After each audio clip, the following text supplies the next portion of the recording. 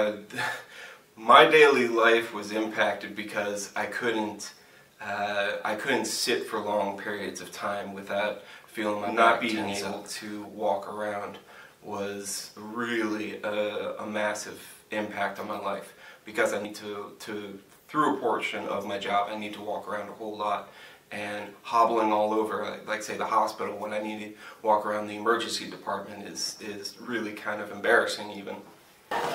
What's your pain level today, zero Today is actually maybe a one, just because it's a little bit tight, but much better. Awesome. Yep. Okay, yep. good to hear. Good to hear. Clear day, so you see the mountains off in the distance, and it, it was just it, that was a huge point for me was being able to carry this backpack, uh, like 10, 15 pounds on my back, and unassisted on my own, making this five mile hike.